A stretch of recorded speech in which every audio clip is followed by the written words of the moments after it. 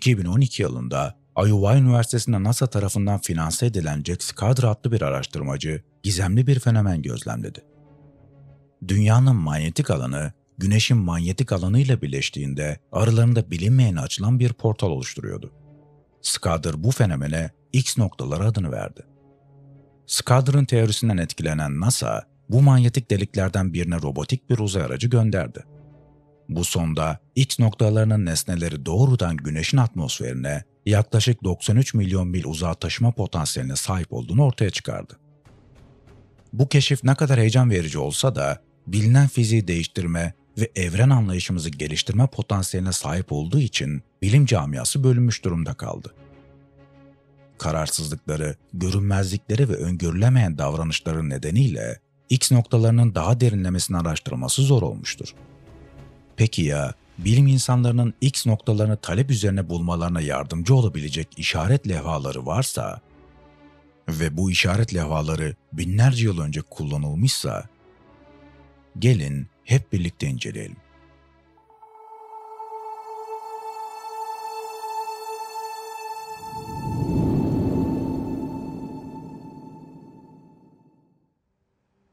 Kadim gelenekler arasında bir insanın yılın belirli zamanlarında ve belirli kozmolojik koşullar altında bu dünyadan başka bir dünyaya geçebileceği yerlerin ve dünya üzerindeki fiziksel konumların birçok hikayesi vardır. Bu yerlere yıldız kapıları denir. Yıldız geçidi fikri kulağa geldiği kadar zorlama değildir. Yıldız geçitleri evrendeki her yıldız ve galaksi arasında bir bağlantı olan kozmik ağ aracılığıyla çalışır. Bu gezegenler döndükçe gezegendeki bir ızgara sistemi üzerinde düğümlere sahip olurlar ve yıldız geçitleri ortaya çıkar. Her şey mükemmel bir şekilde hizalandığında bir yıldız kapısı açılır ve herhangi bir kişinin veya varlığın içinden geçmesine ve kozmik ağa girmesine elektromanyetik filamentler aracılığıyla güneş ve evren boyunca seyahat etmesine izin verir. Artık tüm yıldızları birbirine bağlayan ve içlerinden plazma akan manyetik akı tüpleri olduğunu biliyoruz. Her 8 dakikada bir Dünya ile Güneş arasında X noktaları adı verilen ve Güneş parçacıklarının Dünya'ya ulaşmasını sağlayan bir akı tüpü oluşur. Yıldız geçitlerinin bu eski tasvirleri günümüz bilimiyle açıklanabiliyorsa binlerce yıl önce kullanılıyor olmaları mümkün mü?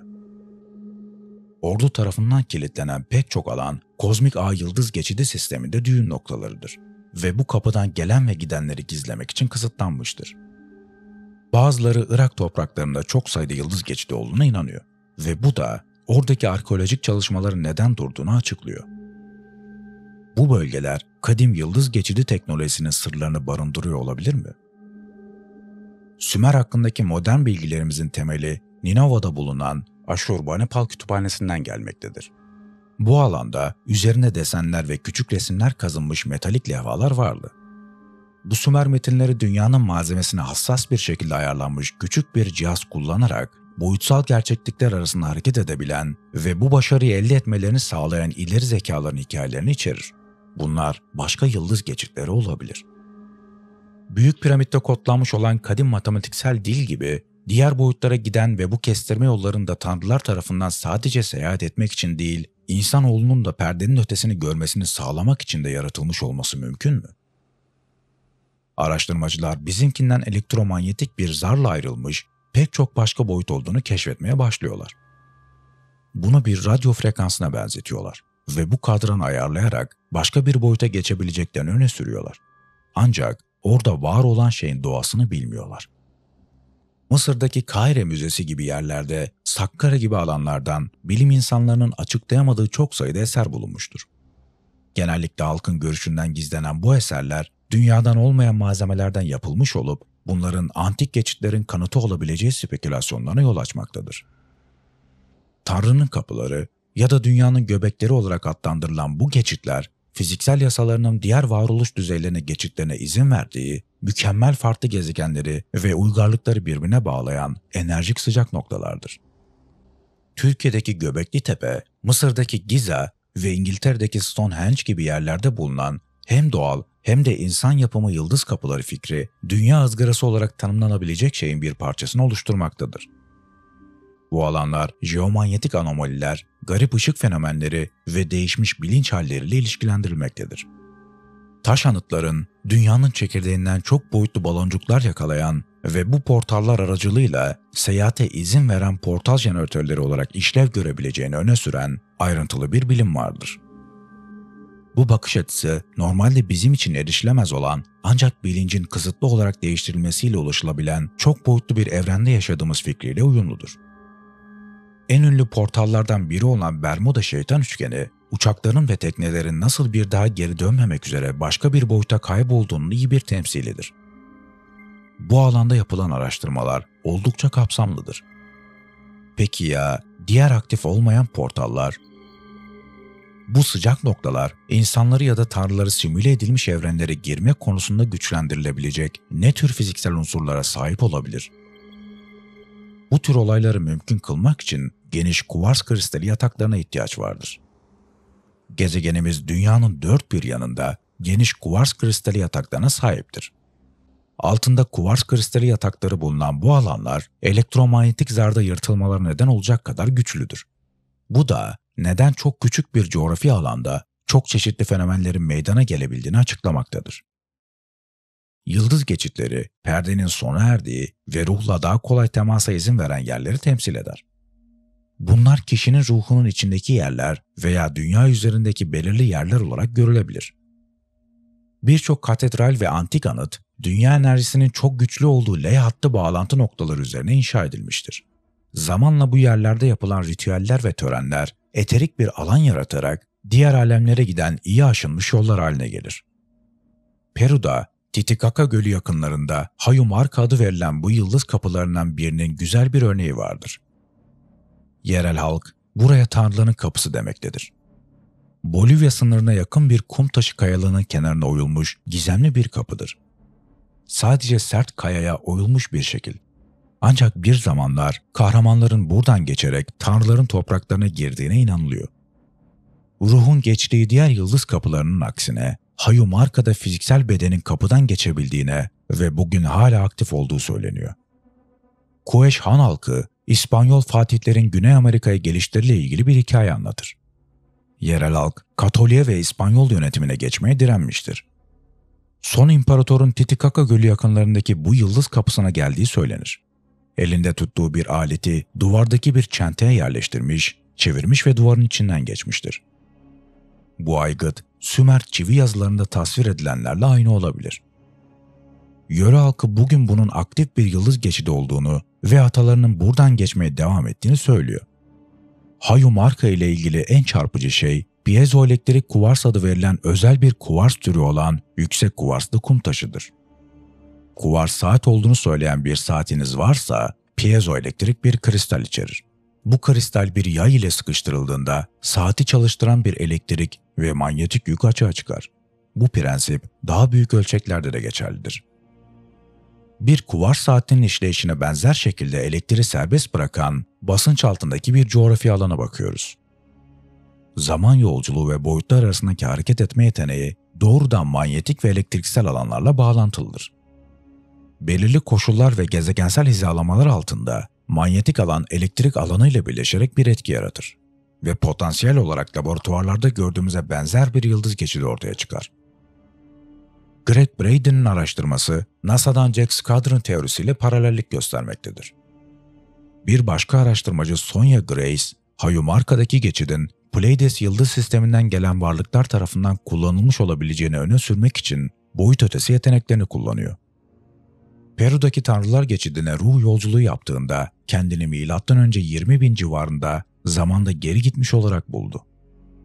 Muan adında kadim bir Pleiades de ona bu geçidin varlıkları Pleiades'teki gezegenlerini taşımak için kullandığını söyledi. Pleiadesliler zaman içinde özellikle de insanlığın yeni evresinde toplumlarımızın çoğunun gelişmesine yardımcı oldular. Bolivya'daki Tiwanaku'yu ve Peru'daki siteyi geliştirdiler. Atlantis'in çöküşü de dahil olmak üzere yaklaşan tehditlerden korumak için geçidi yerleştirdiler. Bu tapınaklar ve ritüel merkezleri genellikle kendinden geçme deneyimleri için ve insanların gerçekliğin daha derin seviyelerini deneyimlemek için beden dışına seyahat edebilecekleri yerler olarak kullanılıyordu. Fiziksel ışınlanma söz konusu olsun ya da olmasın, bu merkezler ruhun gerçekliğin daha derin seviyelerine erişebileceği yerler olarak görülür. Yıldız kapısı onun bu dünyadaki tezahürünü ve varlığını temsil eder. Sembolü doğru kullanmak, onun daha yüksek bir varoluş haline dönmek veya ruhla iletişim kurmak için bir kapı veya geçit olarak işlev görmesini sağlar. Aslında hepimiz gerçekliğin daha yüksek bir seviyesinde saf bilinç varlıkları olarak varız. Evrendeki en yüksek varlıklar bu duruma ulaşmamıza yardımcı olmaya çalışmaktadır. Dünyanın dört bir yanındaki kutsal yerler gerçekliğin bu daha yüksek seviyesinden gelen elçiler gibi hareket eder. Bu alemlere sığınarak o yüksek alemlerden gelen enerjilerle bağlantı kurmak mümkün hale gelir. Hatta bu kutsal mekanlar portal görevi görerek kişinin kendisini varoluşun o yüksek seviyelerine taşımasını mümkün kılabilir.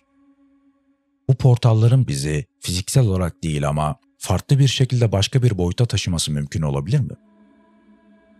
Bu tür portalların fiziksel kanıtlarını sunmak zor olsa da bilincimizi fiziksel olmayan bir durumda başka boyutlara götürebilecekleri düşünülebilir. Amazon havzasındaki Güney Amerika yerlileri gibi şamanist kültürlerde ayahuasca, değişmiş bilinç hallerine girmek ve diğer boyutların sakinleriyle etkileşime girmek için kullanılır. Ayahuasca yolculuklarına çıkan şamanlar genellikle değişmiş bilinç hallerinden canlı görüntüler hatırlar ve yaşadıklarını resmederler. İlginç bir şekilde bu resimler genellikle Fransa'daki Chauvet mağarasının 33 bin yıl öncesine dayanan antik mağara resimlerinde bulunanlara benzer unsurlar içermektedir. Bu durum, bu tür benzerliklerin nasıl açıklanabileceği ve bundan ne öğreneceğimiz sorusunu gündeme getirmektedir. Amazon şamanlarına göre Ayahuasca yolculukları sırasında dünya nasıl yaşayacakları ve işlev görecekleri konusunda kendilerine rehberlik eden öğretmenlerle karşılaşırlar. Bu öğretmenler başka boyutların sakinleri olabilirler. Biz onların farkında olmasak bile bizim farkımızdadırlar ve bize bilmemiz gerekenleri öğretmek için uzanırlar. Bu da boyutlar arası geçişi kolaylaştıran gerçek bir tanrılar geçidinin varlığına işaret etmektedir. Binlerce yıl önce yaratılan portallar bizi sadece diğer fiziksel dünyalara değil, aynı zamanda kendi öz farkındalığımıza da bağlıyor olabilir. Dünyanın belirli yerlerindeki bu açıklıklara erişmeyi öğrendikçe bunlar bizi potansiyel olarak paralel evrenlere bağlayabilir. Eski kültürler toprağa derinden bağlıydı ve enerjinin nerede en güçlü olduğunu hissedebiliyorlardı. Başlangıçta tapınaklar inşa etmelerine gerek yoktu. Sadece bu enerji noktalarıyla doğrudan bağlantı kurabiliyorlardı. İnsan toplumları evrimleştikçe ve doğuştan gelen bu bağlantıyı kaybettikçe bu enerji sıcak noktalarına tapınaklar inşa etmeye başladılar. Ve bu da gotik katedrallerin ve diğer kutsal yapıların eski pagan alanlarına inşa edilmesine yol açtı. Buradaki ironi, bu tapınakların insanlığın doğal dünya ile yeniden bağlantı kurmasına yardımcı olmak için inşa edilmiş olması ve gerçek tapınakların aslında bizler olduğumuz mesajını vurgulamasıdır. Bu teoriler, üç boyutlu bedenlerimizin bu özel dünya için tasarlandığını, algılarımızı ve faaliyetlerimizi bununla sınırladığını öne sürmektedir. Ancak bilincimiz bedenden ayrıldığında, örneğin beden dışı deneyimler sırasında daha geniş alemleri algılayabiliriz. Beden dışı deneyimler yaşayan insanlar genellikle kendi bedenleri ve hastane odası gibi çevrelerini gördüklerini ancak aynı zamanda ışık, tüneller ve koruyucu meleklerle de karşılaştıklarını bildirirler. Bu daha geniş alemler her zaman bizim bir parçamızdır. Ancak bir duvarla ayrılmıştır. Yıldız geçitleri tanrıların ve diğer varlıkların bu alemler arasında geçiş yapabildikleri, istedikleri gibi gidip gelebildikleri noktalar olabilir. Mevcut askeri kompleksler, varlıklar ve kadim tanrılar diğer boyutlara seyahat etmek için bu yıldız geçitlerini nasıl kullanacaklarını biliyor olabilirler. Bu portalları ve kullanımlarını anlamak, kendi gerçekliğimiz ve onun ötesinde var olan daha büyük boyutlar hakkında içgörü kazanmamıza yardımcı olabilir. Ruhani anlayış içinde olanlar ve bilim insanları bu tür yerleri bulmaya çalışmakta, anomalilere ve olası açıklıklara işaret eden enerji kalıplarını araştırmaktadırlar. Bu arayış, varoluşun gizemlerini ve dünyamız ile diğerler arasındaki potansiyel bağlantıları anlamaya yönelik süre gelen arzumuzu yansıtmaktadır. Anlayışımızın ötesinde bir yere ulaşmayı umduğumuz için sıradan bilgimizin sınırlarını kabul etmeliyiz. Her gün fiziksel dünyada geziniyor ve etkileşimde bulunuyoruz. Ancak varoluşumuzda daha fazlası var mı? Evet, daha fazlası var. Peki bu daha büyük boyutlarla nasıl temasa geçebiliriz? Belki de metaforik bir kapıdan geçerek fiziksel alemin ötesinde bir şeyle bağlantı kurmaya çalışıyoruz. Başka bir varoluşa somut bir giriş bulma arayışı karmaşık bir meseledir. Bu tür girişler ayaklarımızın altında olabilir mi? Bu fikir dünyamızın içinde gizlenmiş, başka bir boyuta açılan fiziksel kapılar olabileceğini düşündürmektedir. Bu düşünce bilinen gerçekliğimizin ötesini keşfetmek için olasılıklar yaratıyor ve aradığımız cevapların düşündüğümüzden daha yakın olabileceğini öne sürüyor. O zaman tanrılara ne oldu? Bu cevaplanması zor bir soru. Bazıları kadim varlıklardan hayatta kalanların hala güneş sistemimizde var olabileceğini ve potansiyel olarak dünyanın yer altında yaşayabileceğini düşünüyor. Bu teori, tanrıların yok olmamış olabileceğini, bunun yerine yüzeyin altında sığınaklar bulduklarını ve varlıklarını gizli bir alemde sürdürdüklerini ima etmektedir. Tanrılar hala aramızda, yer altının derinliklerinde başka bir gerçeklikte yaşıyor olabilirler mi? Bu olasılık fiziksel dünya anlayışımıza meydan okumakta ve bizi bu varlıkların ulaşamayacağımız ama yine de gerçekliğimizi etkileyen paralel bir varoluşta yaşıyor olabileceklerini düşünmeye teşvik etmektedir. Bu fikirleri keşfetmek bilgimizin sınırlarını zorluyor ve bizi varoluşun derin gizemlerini düşünmeye davet ediyor. Bize desteğinizi göstermek adına kanalımıza abone olabilir ve videomuzu beğenebilirsiniz. Bir sonraki videoda görüşmek üzere.